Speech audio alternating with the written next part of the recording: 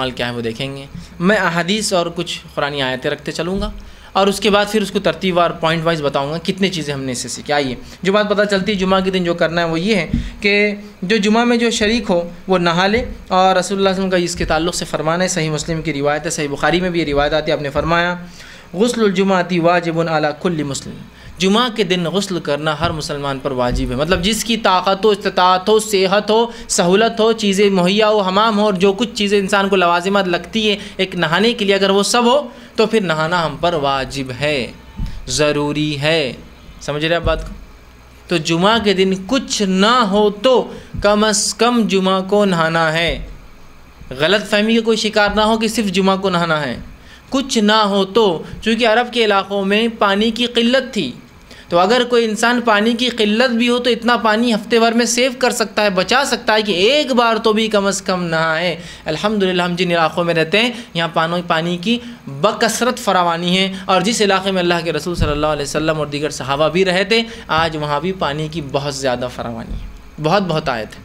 लेकिन कम अज़ come with in a week, जुमा के दिन एक मुसलमान पर नहाना क्या है? वाजिब है, याद रखिए। ज़रूरी है। तो हम कोशिश करें कि जुमा के दिन ज़रूर भी ज़रूर जो है गसल सेहत अल्लाह ने दी है। हमाम अवेलेबल है मतलब पर्दे का इंतज़ाम है, जहाँ इंसान नहा सकता है तो बिल्कुल कोशिश करें नहाए, इसलिए कि वाजिब है।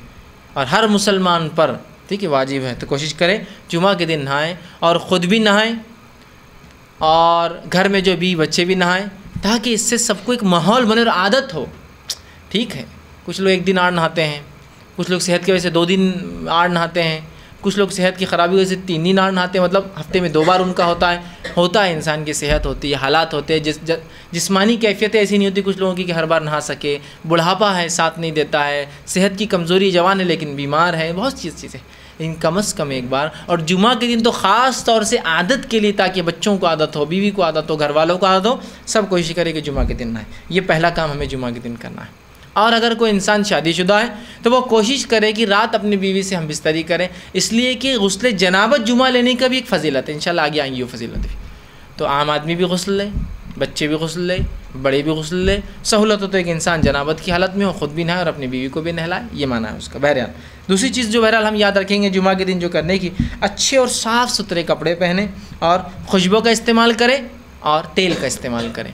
इसलिए कि नबी अकरम सल्लल्लाहु अलैहि वसल्लम फरमाते हैं और हदीस के अल्फाज यूँ हैं अलाकुल्ली मुस्लिमिन गसल यौमजुमाती कि हर मुसलमान पर जुमा के दिन गसल है। फिर आगे फरमाते हैं वयल बसुमिन मिन ही सियाबी ही और जो उसके कपड़ों में अच्छे कपड़े हो, उन कपड़ों को वो जो है, अच्छे कपड़ों को अपने जेब तन करे मतलब अपने ऊपर डाले या वो पहने। मतलब आपके पास जो कुछ कपड़े हैं, उनमें जो बेस्ट क्लॉथ्स है, जो सबसे अच्छे कपड़े हैं, उन कपड़ों को आप अपने जिस्म पर डालें, इसलिए कि जुमा का दिन है। व इनकान लहू, व लहू तीबन मसमिन हूँ और फिर आगे फरमाते हैं, और अगर किसी को अल्लाह ने खुशबू मैसर की है, कि तो खुशबू भी उस ज़माने में बहुत मुश्किल होती थी इंसान के राज भी बहुत से लोग नहीं लगा पाते। तो अगर अल्लाह ने खुशबू मैसर की है तो ज़रूर फिर खुशबू को लगाए। एक रिवायत में तेल के अल्फाज भी आते हैं कि तेल लगाए और खुशबू लगाए। तो अब जुमा का दिन है, गसल लिया, बस जितने अच्छे कपड़े, उन कपड़ों को आप डालिए, अपने कपड़ों में जो अच्छे कपड़े हों, ठीक है? उसके बाद आप जो है खुशबू लगाए और अल्लाह ने मैसर किया है तो खुशबू और तेल का ज़रूर भी ज़रूर जो है इस्तेमाल करें। इसी तरह जो बातें हदी से मिलती है जुमा के दिन करने की, वो ये है, आप फरमाते हैं, जो शख्स जुमा के दिन गसल जनाबत करे, यही रिवायत से मैंने आपसे कहा कि जो निकाह, शादीशुदा और सहूलत हो तो वो जो हम बिस्तरी करें ताकि फिर वो जुनूबी हो और गसल जनाबत करें। तो हदीस के अल्फाज सुनिए।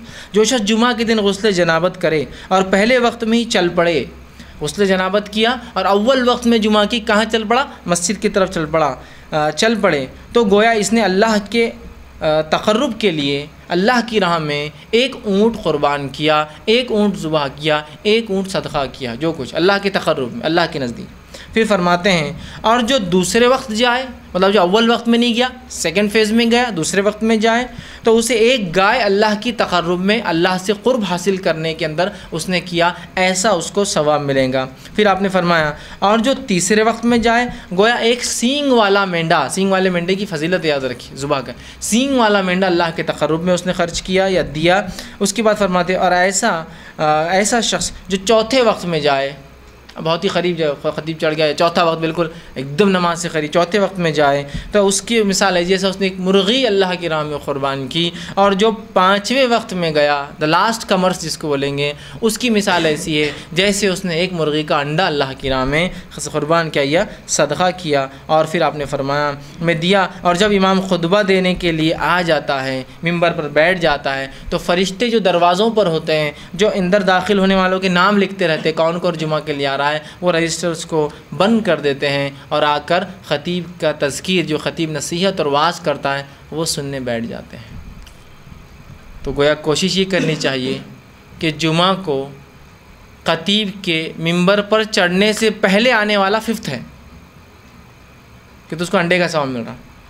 तो ज़ाहिर सी बात है अव्वल आने वाला बहुत जल्दी आ रहा है, अजान से पहले दाखिल हो जा रहा है। हो सकता है दूसरा नंबर अजान के वक्त दाखिल हो रहा है, तीसरा दूसरी अजान के वक्त दाखिल हो रहा है, जो ख़तीब चढ़ रहा है।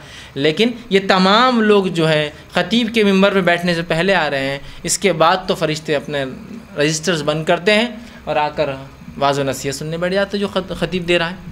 समझ रहे हैं बात को? तो कोशिश कीजिए जुमा के दिन जितनी जल्दी हो सकता है हम चल पड़े, है ना?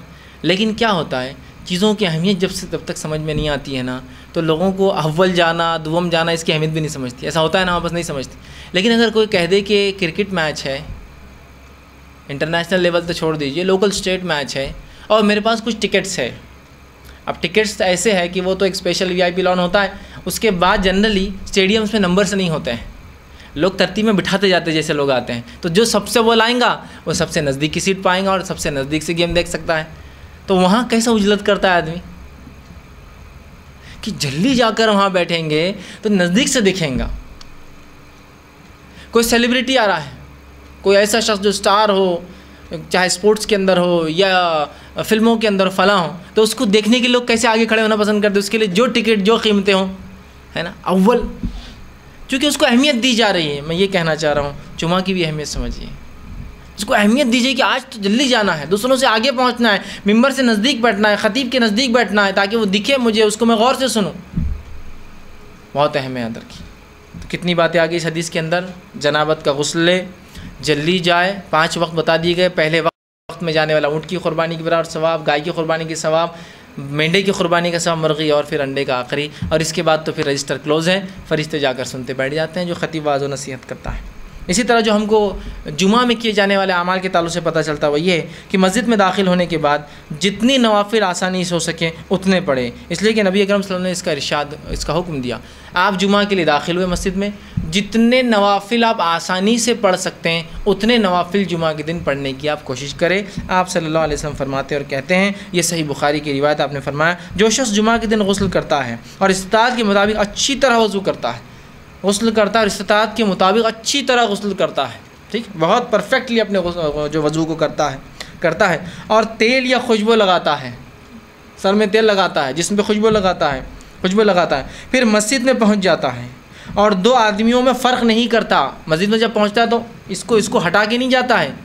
जहाँ जगह मिली वहाँ रुकता है, लेकिन इसका अर्गिज़ मतलब नहीं कि आगे वालों ने अगर सफ़ेद छोड़ दी तो आप पीछे कर रहेंगे फिर तो आप उनको तोड़ कर जाएँगे। लेकिन आगे फुल होने के बाद भी कुछ लोग जाते हैं, उनको मना किया गया है।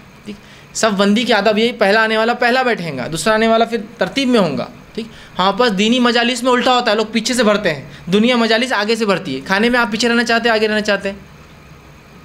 दावत में अगर दरवाज़ा खुल रहा है तो आप पीछे रहना चाहते हैं, आगे रहना चाहते हैं, आगे। लेकिन दीनी मजलिस में अगर कोई दरवाज़ा खोल रहा है तो? आ रहा हूँ। और जुमा के दिन तो जब दूसरी अजान के बाद वह आखिर दावाना अनिलहमदिल्ला रबीआन बोलते, दुकान छोड़ के भागते आता मैं। चूँकि आप मेरे को मालूम हो गया, आप ख़तीब ख़त्म किया, अब अब जमात खड़ी होने वाली है और उतने दस पंद्रह सेकेंड में मैं पहुँच जाता हूँ। दीनी मजालिस में पीछे रहना चाहते हैं, दुनियाई मजालिस में आगे मिनिस्टर आ रहा है, आगे रहना चाहते हैं, पीछे रहना चाहते हैं? आगे रहना चाहते हैं। हाँ कोई आलिम दीन आ रहे तुम मिल लो, तुम मिल मेरे को क्या ज़रूरत है? ना? ये लोग वैसे ही बोर करते आलिम दिन ये बताते, वो बताते। उनसे मिलने के लिए, समझ रहे आप? तो हमने दिन को सेकेंड देखिए हम, हमने अनकॉन्शियसली बोलिए, समझदारी से या गैर समझी तौर से दिन को दूसरा, तीसरा पता नहीं क्या दर्जा दे दिया, जबकि सबसे अव्वल होना चाहिए था।